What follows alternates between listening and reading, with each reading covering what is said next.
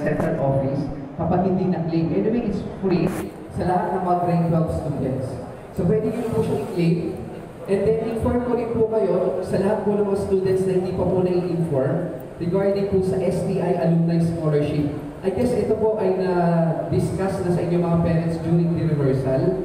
Ang uh, Alumni Scholarship po will be applicable sa lahat po ng mga graduating grade 12 students. Hindi ko lang alam kung kayo ay na-inform ng inyong mga advisors or teachers na ito pong Alumni Scholarship ay applicable hindi lang po dito sa STI, kundi sa ibang STI din po. For example, kayo po ay nalipat sa ibang STI schools, automatic po ay makakakuha kayo ng alumni scholarship.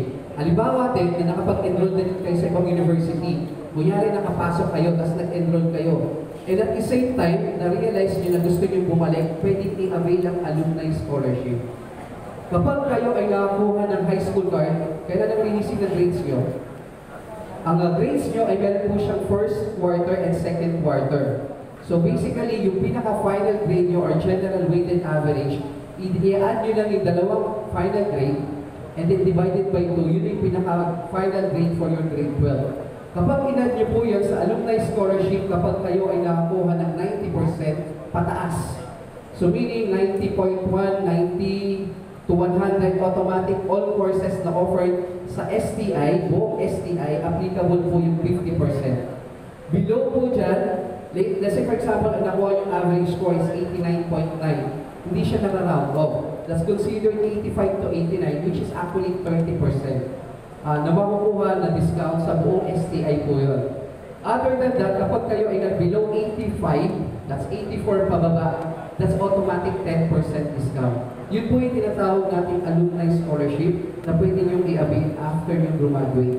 And then since kayo po ay nag-aral sa STI, meron po kaming special uh, schedule this coming Wednesday na lahat po ng mga estudyante na gustong ma-retain o gusto po mag-enroll sa college sa STI, meron po kayong automatic na uh, enrollment schedule this coming Wednesday na pwede kayo magpa-reserve dahil right now, lahat po ng section o schedule for grade 12, nakahiwalay po siya ngayon sa mga uh, outside students or transferees from other schools or enrollees from other schools.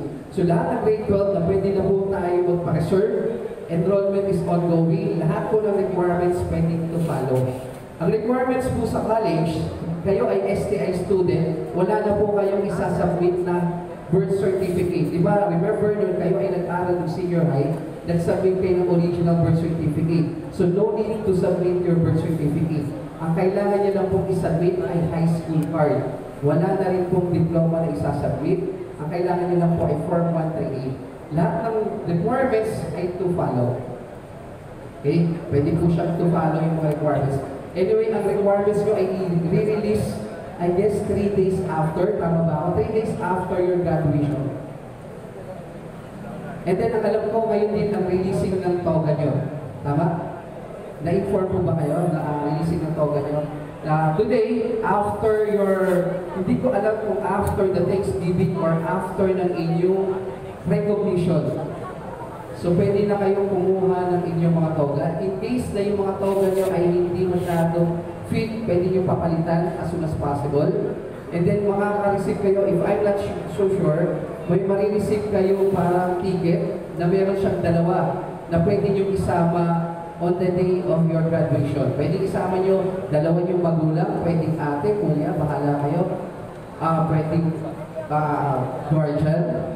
Basta kailangan lang po dalawa. What if meron po akong kasamang tatlo, apat, pwede po yan sa labas na ng ano, na uh, hindi sila makakapasok dun sa venue, pero uh, pwede nyo po sila maghintay sa may labas. Meron po ng parking area or parking space.